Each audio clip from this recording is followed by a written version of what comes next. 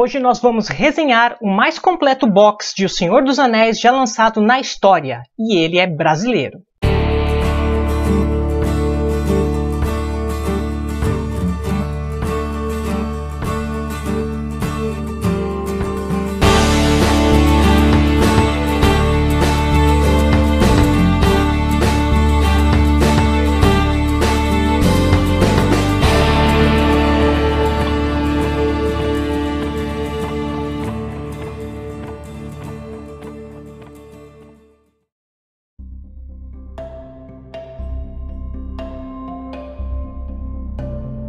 Olá, meus queridos e queridas Tolkien Talkers! Antes da gente começar, já peço que manda aquele like, se inscreve no canal e clica no sininho para ficar de olho nas notificações. Depois do vídeo já manda um comentário pra gente. É isso mesmo que eu disse na introdução do vídeo. Esse é o mais completo box de Senhor dos Anéis lançado na história das publicações de Tolkien no mundo.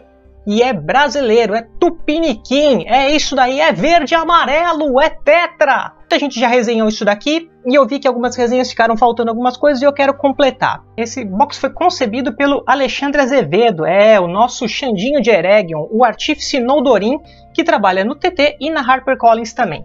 Aqui na lombada ele criou um negócio que eu achei muito legal. Ele colocou o monograma de Tolkien, o nome, o Um Anel, os três anéis élficos ao contrário da capa da Sociedade do Anel, onde o Narya está em cima, ele está embaixo. Cada uma dessas pedrinhas tem uma cor diferente para simbolizar um, um, anel élfico, né? Então aqui a gente tem o vermelho, que é o Narya, o anel do fogo.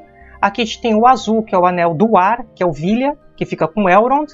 E aqui nós temos o anel branco, né, que é o Nêmia, que é o anel da Galadriel, né, o, o anel de Adamante. Esses anéis élficos estão em contraposição a um anel todos eles em hot stamp dourado. Aqui nós temos os sete anéis dos anãos, né? E cada um deles está voltado para um lado diferente. Por quê? Porque os anãos são assim, né? eles são gananciosos, cada um pensando em si. Então nenhuma das posições se repete. Eles são em dourado também, mas cada pedrinha é diferente de uma cor, simbolizando uma das famílias dos anãos. Mas todos eles virados para um lado e tipo assim, dane-se o resto. Já aqui, nos nove, todos os nove estão virados em direção a um anel. Então aqui, ó, eles estão vindo em direção a um anel. Todos eles respondem a um anel, os nove, né? Ou seja, existe uma servidão aqui. Só aí já começa a brincadeira, já não foi aleatório. Essa é a análise do box em si. Ele é tudo pretão, duro, e existe uma leve textura, imitando um couro craquelado. Essa textura foi bem leve, por quê? Porque essa textura é a mesma das capas e nós mandamos esses layouts para o Tolkien State. E ele tinha uma textura muito forte de couro, ia ficar lindo. Eles vetaram. Aí eles falaram que não queriam textura nenhuma. Aí a gente colocou ela bem levinha e falou: olha, só para agregar, para não ficar preto chapado. Aí eles liberaram. Então, se você, se você não consegue ver de primeira instância, é normal mesmo, porque ele está bem suave, porque só assim que o Tolkien State liberou, né? Mas ainda bem que liberou, porque isso agrega, traz informação de design, né? O layout dele agrega, ganha. Ele não é um preto chapado, existe essa, essa influência aí do couro, né? Você comprando o box ou comprando eles separados é a mesma coisa, tá? O que faz diferença é o box, mas o conteúdo dos livros é o mesmo. Tá? Aqui dentro é preto chapadão, não muda nada. Então vamos deixar aqui, vou deixar com a lombada aqui virada para vocês inclusive os, os nove anéis aqui, ó, indo pro Sauron, né? As capas estão sensacionais. Uma coisa é, eles têm uma tendência a serem black, mas eles são tons de preto diferentes. Né? Então aqui a gente está praticamente com o Retorno do Rei, ele é preto mesmo, ele é o mais escuro, né?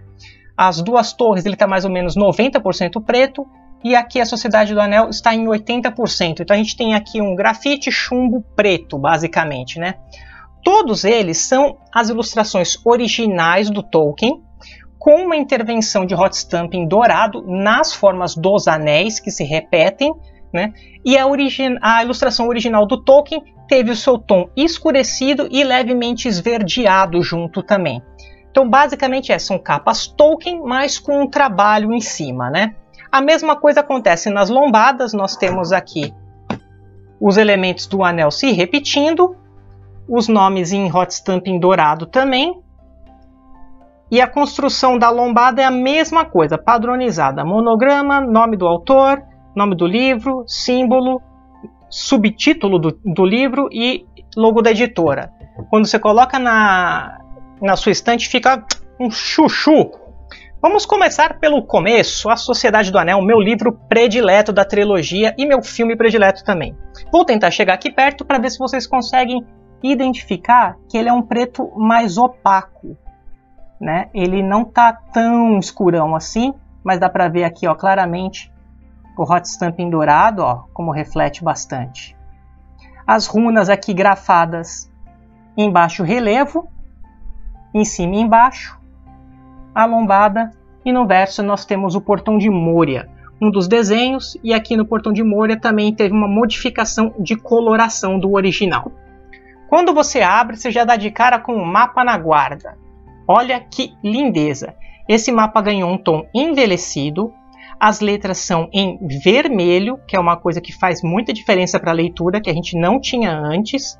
E esse mapa tem a tipografia original do Tolkien e do Christopher Tolkien, que fizeram o mapa. Então, se o Tolkien e o Christopher escrevessem em português, seria exatamente assim.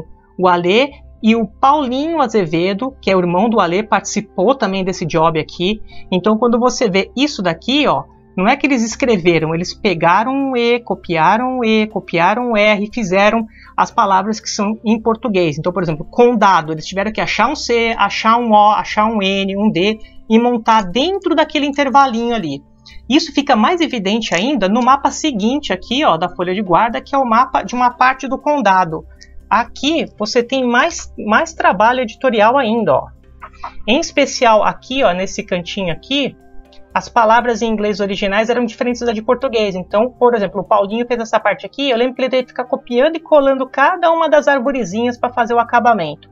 Então, parabéns ao trabalho do, do e do Paulinho, que fizeram uma ótima dupla.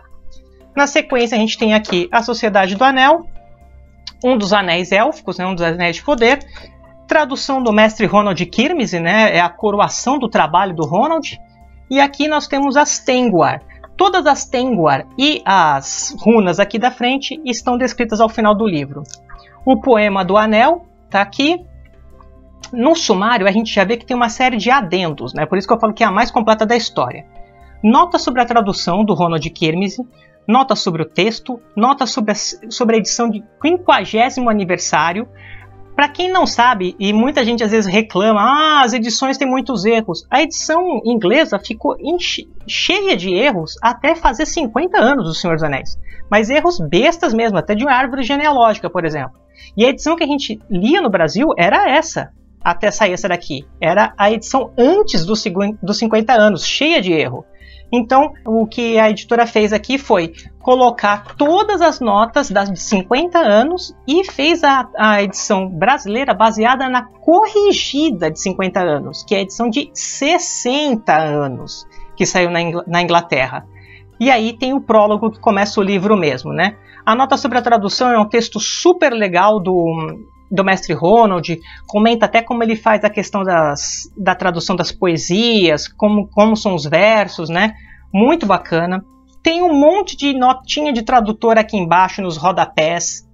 Assim, o que não falta é nota de tradutor nos rodapés.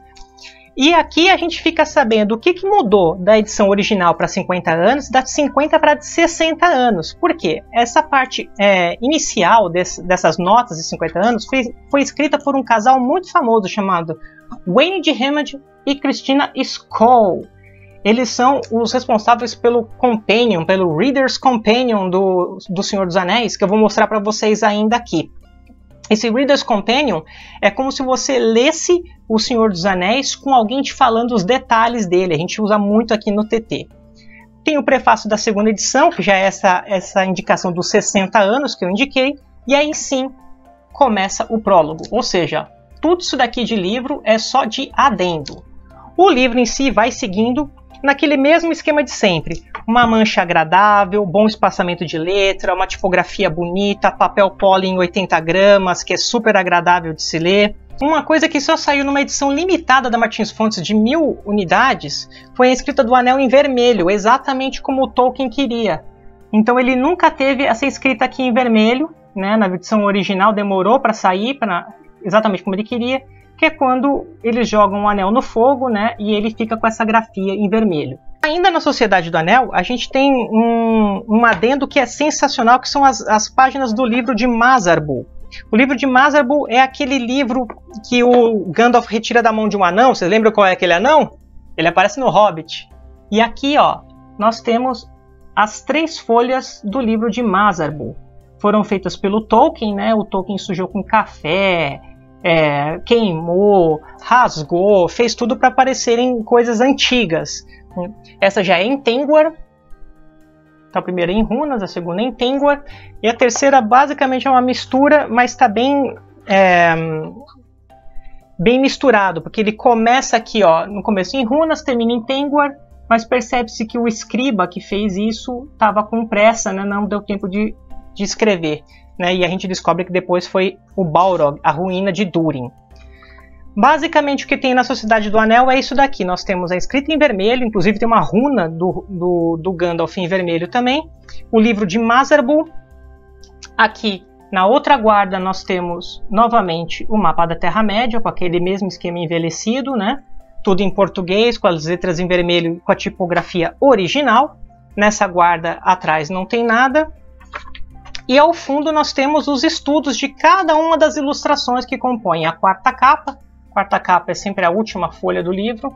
Então aqui explica, né, por que, que tem esse, essa ilustração, da onde ela saiu, as informações que a gente pegou para fazer isso daqui, essas ilustrações estão todas nesse livrão aqui, ó, que é o The Art of the Lord of the Rings, também do N. de Hammond e da Christine Scoll, que fazem o começo desse livro aqui, né? Então você vê que tudo está amarradinho. Aqui a gente explica cada uma das ilustrações, o que, que o Tolkien estava pensando na época. Ou seja, pessoal, é um livro de estudos. Nenhum livro no, no mundo e na história da publicação de Tolkien tem isso, tá? Ó, explicação das páginas do livro de Mazarbu. Agora só não estuda Tolkien quem não quer. Ó, realmente está nervoso.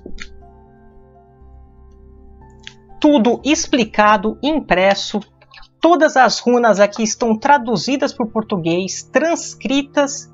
Você tem elas em inglês, em português, as Tengwar, as runas. Temos também aqui uma página ó, com todos os poemas bilíngues, ou seja, se você quiser conferir como que é o poema originalmente, que foi, qual foi o processo que o mestre Ronald Kirmes fez, é só vir aqui ó, no capítulo Poemas Originais. Olha que capricho, gente! Isso aqui tá sensacional, né? Essa é a Sociedade do Anel e vem com um fitilho preto, né? Um baita de um acabamento, tá lindo isso daqui. Para as duas torres, nós temos o mesmo procedimento, capa do Tolkien, com aquela coloração. Atrás aqui, uma versão antiga, uma das primeiras versões da Torre de Orthanc, lá em Isengard, né? A torre Númenoriana que foi tomada por Saruman o Branco, depois Saruman o de muitas cores. Um mapa que parece o mesmo da Sociedade do Anel, mas não é. Ele já está mais para a parte de Gondor, né? mostrando aqui Rovanion, Gondor e Mordor. Né? Ele já é um close. Nas duas torres a gente continua com um anel élfico aqui na entrada, o poema do anel, o resuminho do livro anterior, que é como se fosse uma pequena sinopse, e aí sim começa o livro. No miolo do livro a gente não tem nenhuma outra intervenção gráfica aqui, tipo como uma coloração, como as páginas do livro de Mazarbu, né? O que tem aqui no mapa de trás a gente tem o mapa inteiro, não o close que a gente tem no começo, e novamente atrás nós temos os estudos de cada uma das imagens utilizadas. Aqui a gente explica direitinho a torre de, a torre de né? que apesar dela ser bem diferente da versão final do Tolkien, ela tem um valor histórico, explicando o significado da capa, né? Quais são as duas torres? Muita gente confunde, acha que é Barad-dûr do Sauron, mas não é, né? É Minas Ithil, que depois virou Minas Morgul, e a Torre de Orthanc, no ciclo de Isengard. As traduções das Tengwar das runas e também dos poemas, todos bilíngues. Finalizando, nós temos aqui o Retorno do Rei. Esse aqui é mais pretão, né? ele tem um pouquinho mais de carregado na cor. E atrás nós temos aqui uma parte da torre de Barad-dûr do Sauron. mais ou menos como Tolkien imaginava na época. A porta é desse tamanho, para você ter uma noção. Então era gigantesca mesmo. Aqui o mapa já muda bastante. Ele é realmente um grande close da região sul ali, né? Mostrando inclusive aqui a região costeira, né? Pelagir e Dal Amaroth. Atrás a gente tem o um mapa macro novamente, né? até porque a gente tem muita coisa no condado na volta. Nenhuma em outra intervenção a gente tem no miolo do livro, porém na parte dos apêndices tem várias coisas legais. Dá mais ou menos quase um terço do livro, um pouco mais. Ó, aqui começa os apêndices, aqui o livro termina e aqui os apêndices, né? E aqui a gente tem uma mancha super confortável, porque muita gente não lê os apêndices porque é difícil, é pesado, mas eles fizeram uma mancha com uma letra boa e um bom espaçamento de letra, né? De letra, de caractere, de linha. Isso ajuda muito. Aqui tem o conto de Aragorn e Arwen, por exemplo, né? Que é muito legal. E a diagramação ajuda demais na leitura. As árvores genealógicas elas foram todas redesenhadas pelo, pelo Alexandre Azevedo e corrigidas, porque tinham vários erros que não tinham né, na edição de 50 anos e que a gente ficou aqui sem ter. Por exemplo, a explicação do nome Tuk, com T-U-K para T-O-O-K, é, mostrando que a árvore genealógica dos anãos, que o Thorin foi rei sobre a montanha. E olha só a diagramação das árvores genealógicas agora, como estão bonitinhas. Agora elas têm umas setinhas, uns destaques, umas fontes bonitas. Bom, enfim, esse é o foco que eu consigo dar. E com mais outra coisa que nunca tivemos no Brasil, e isso é importantíssimo para realmente se estabelecer um livro de estudo é um índice remissivo. O que é um índice remissivo? Não importa o termo que você queira saber, por exemplo, o termo raposa, que aparece em A Sociedade do Anel. Quando você vier aqui, você vai procurar pelo R, pelo raposa, e ele vai mostrar todas as páginas e o livro que está é, é aquele termo. Então você pode estudar tudo sobre aquele termo em O Senhor dos Anéis. E esse índice remissivo deve ter sido um parto de capivara para fazer. Olha que loucura isso daqui.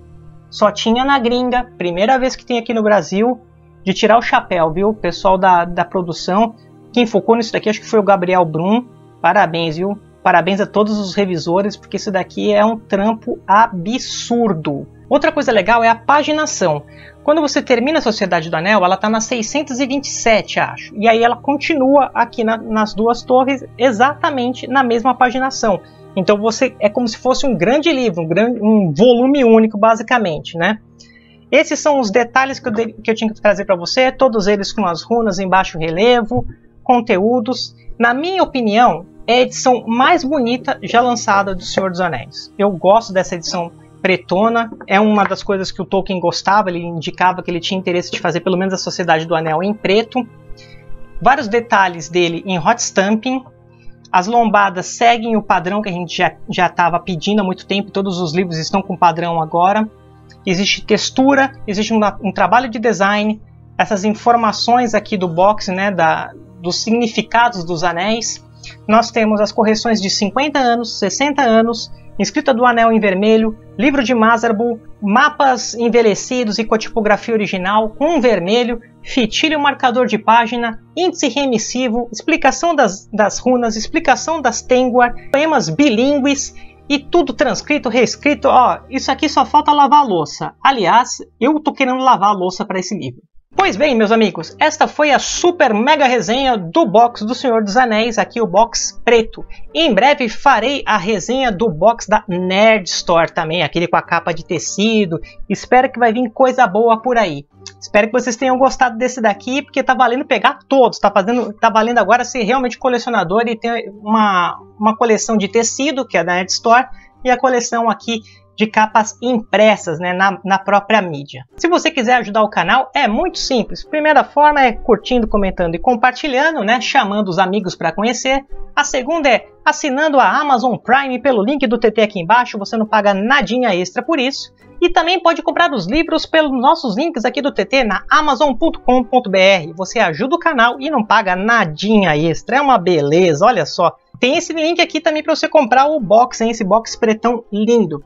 A terceira forma é sendo um padrinho ou uma madrinha do TT. Contamos com você. Um real ajuda demais. Aliás, se todo mundo conseguisse um real e um inscrito novo, a gente bate 100 mil inscritos no final do ano e ainda consegue fazer maiores investimentos para acompanhar a série que está chegando por aí. O que vocês acham? Bora lá? Vamos ajudar? Também peço que vocês sigam as nossas mídias sociais e os nossos fanpages parceiras aqui embaixo. Espero que tenham gostado desse TT.